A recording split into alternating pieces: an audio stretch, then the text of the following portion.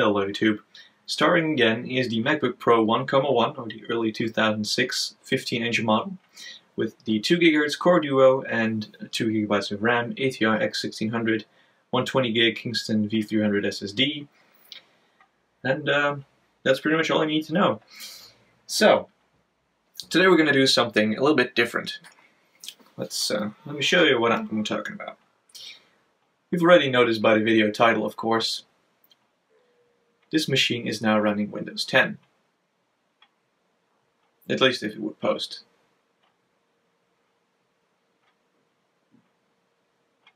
Hello? There we go. Was worried there for a little bit. No idea what it took so long, but uh, oh well. But yeah, I've installed Windows 10 on it. At first I had a bootcamp partition with Windows 7. Uh, I upgraded that to Windows 10 Pro, so now I have a uh, motherboard linked uh, license for this particular laptop. So now we're just watching it boot up. It just did a run of Windows updates, so uh, it's going to take a little while. But today we're going to take a look at how Windows 10 performs on this 2006 machine. We're going to take a look at uh, web browsing performance, local media consumption, office productivity, and just overall usability and uh, to see where the restraints really are. I can tell you this, having only 2 gigabytes of RAM in 2017 is pretty low. But then again, this is the latest operating system that Microsoft offers, um, and it is still perfectly up to date with all software, uh, rather than Snow Leopard, that is running on the uh, primary partition on this MacBook Pro, that is pretty much close to being obsolete now, because there are no up-to-date browsers available for it. Firefox has dropped support at ESR 38, um, or yeah, I think 38 was the last version. Uh, Chrome 38 was the last version, and that's already uh, quite old. And uh, Safari won't even play YouTube video anymore. So the only way to really have good media consumption performance is to run Windows on it, quite frankly. So that's what we're going to find out. Is Windows usable on this 2006 machine? Alright, now the machine has finished booting up. We're looking at the task manager here. Let me give you a better look at the numbers. We're currently looking at about 2%, 3% CPU usage on idle and 42% memory usage. Because we only have 2 gigabytes of RAM, this memory usage is actually not that bad. We're using about 800 megabytes right now. Yes, I know there is dangerous software on this. I freaking used a crack to install Office 2013. Sue me, seriously. Anyway. It's just for testing purposes anyway on this machine. So let's start with the productivity benchmarks. Let's open up Microsoft Word. This is the 2013 version. There we go. Let's open up uh, a nice template here. And see what kind of performance we get.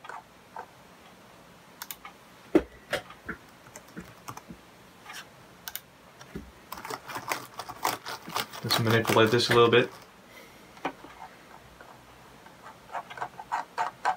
Scrolling through this with these graphics is absolutely fine. So the Radeon X1600 is accelerating that nicely, despite having a driver from the year 2008.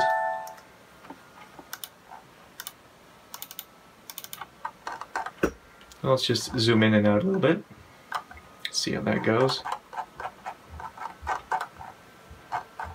As we can conclude, Word runs absolutely fine on this. Now that we conclude that office work should be more than uh, adequate in terms of performance on the MacBook Pro, we should uh, move it up a notch and go to the web. I will say this, don't use Firefox if you're going to use any media uh, online. I'm saying this because um, the current version of Firefox for Windows 10 runs very, very poorly. Yeah, let's Bing a website, yeah. But it runs very, very poorly, and impacts the CPU 100% all the time. Edge does not do this, loads pages just as quickly, and uh, overall, it's actually quite smooth, I have to say, on this. Let mean, that's just freaking fast, man. Let's get to CNN.com. Show us the obligatory version, or website that we want to take a look at. Utterly ridiculous. Yeah, that's Trump, all right. That's him in a nutshell. I shouldn't get all political, I don't think. As you can see, it this is really smooth. I mean, the scrolling never actually chops because it has to load in a little bit. You can just scroll through all these images just fine. I mean, this is just a 32-bit Core Duo, which is basically two Pentium M's glued together and put on a, on one chip. So, it's pretty remarkable, especially you saw if you saw my video about the uh, is the Pentium M obsolete uh, first part video, where I also tested the Pentium M in Windows 10. That was absolutely horrible. I mean, it was usable to a certain extent, but this is just, this is more than twice as fast, I'm pretty sure. So let's just go to YouTube here. I've got this video here. We're going to take a look at uh, media playback now. Uh, fucking ads. This is a Lamborghini LM02. In Lamborghini's long It doesn't want to pause. Come on, pause. Thank you. Let's go full screen and we're going to set it to 720p. It went to 1080. That's maybe a bit too much for this. Let's try 720 and start playing video. And it is a long history. Is the craziest, the most ridiculous, the most amazing. And right now, LMO2 well, it's perfectly smooth. You can definitely see all the scenery in the background moving. It's moving at the same pace as it should be. So that's good. Let's kick it up a notch, shall we? Let's see if it can do 1080p. I know Snow Leopard, uh, I've tried it since Snow Leopard, it can do this. Um, Chrome can do 720p, but 1080 is just, it, it, starts, you know, you can definitely see the video lagging behind the audio pretty quickly. Frame rate dips to a, a very low point. So let's try 1080p.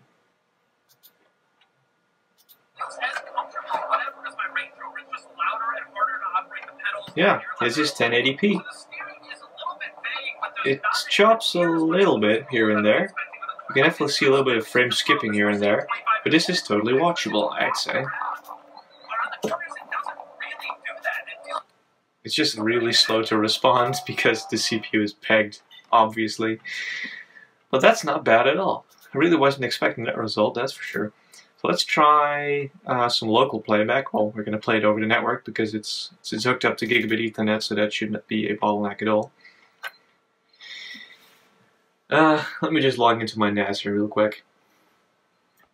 Alright, I pulled up a Blu-ray uh, movie here. This is Pulp Fiction. Cops? I was watching it one time and there was this, this cop on. He was talking about about this gunfight he had yep. in the hallway with 1080p this, this playback guy, right? locally is absolutely fine.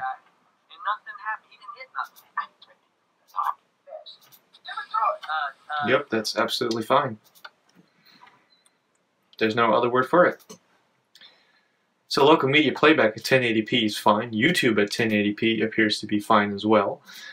Um, browsing the web is perfectly smooth as long as you use Microsoft Edge. Um, overall uh, operating system, you know, just moving around the OS is perfectly fine. It's very smooth. I mean, it definitely makes a difference to have an SSD in a machine like this.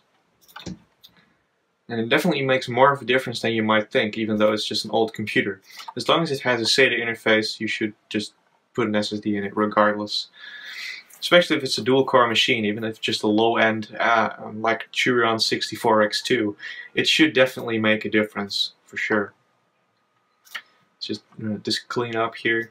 Mean, everything just pops up pretty quickly as, as you would expect from a modern PC with like a hard drive or something.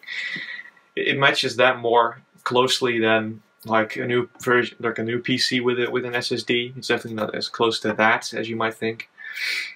Um, it's more like a new PC with a hard drive. That's pretty much how it runs. So it's perfectly usable for everyday tasks, that's for sure. And this machine is 11 years old. That's the most amazing thing about all of this. The, the thing that struck me the most is just the fact that it could run 1080p YouTube. I mean, you can't do that on a Mac OS 10. and there are some other things that uh, Mac OS 10 on this machine is just not suitable for. Um, most notably the fact you can't run an up-to-date browser on OS 10 Snow Leopard. This machine cannot run anything newer than Snow Leopard. Well, technically it could run a sort of unstable version of 10.7.2 uh, Lion, that is. But uh, I really don't feel like um, going that route because Lion was not really designed to run in 32-bit mode all that much. So, and, and some stuff just simply stops working, like sleep and stuff like that. So I really don't feel like doing that. I might try to just give it, you know, give it a shot and show you what it is like. I will uh, attempt that at least. But uh, Snow Leopard is definitely very obsolete at this point in terms of web browsing experience. Safari can load most pages, but it can no longer play YouTube. Uh, Firefox bogs the system down uh, as well, uh, to the point where you can't even watch 480p YouTube. It just sticks to 100% CPU. And um, well, Chrome is is perfectly fine though. You can watch 720p YouTube, no problem, and work in your work doc word uh, the work in your Word document in the background. Words are hard. Uh, so that's all perfectly fine still. Well, now, uh, the elephant in the room is, should you consider putting Windows 10 on your MacBook Pro then? I mean, I showed that it works pretty well. Uh, I would say yes, but with a slight warning. Some stuff will not work on this machine. Um, you can't really get uh, bootcamp drivers for this machine anymore, so you have to use generic bootcamp 2 drivers that came with like Snow Leopard DVD or stuff like that. Most things will work, audio will work, the graphics card will work, um, network cards will work, they will just update their drivers, uh, same goes for the audio basically. Um, the gigabit ethernet, the Wi-Fi, and Bluetooth, that, that stuff all works. Um, your touchpad stops working, you will not have keyboard backlighting, uh, function keys on the, on the keyboard don't work, um, screen brightness adjustment does not work, um, and the webcam does work. So yeah, so I have to use an external mouse basically, and uh, you have to run the screen at full brightness all the time. I'm not sure if there's a fix for this. Maybe there's a Bootcamp 4 update for this particular machine that uh, I just haven't been able to find. Maybe that'll work some work some stuff out. I mean, it wasn't even Bootcamp 2 is not even compatible with Windows 7. It's just compatible with XP and Vista. So the next stop, of course, in this machine would be to run the Bootcamp partition with Vista and see if that's any good. But uh, that's a video for, well, that's that's a story for a different video. Uh, I'm going to end the video here. I hope you enjoyed this video on this uh, overview of how Windows 10 runs on a 2006, early 2006 MacBook Pro. Uh, I uh, hope you enjoyed it. I thank you all for watching, and I'll see you guys in the next one.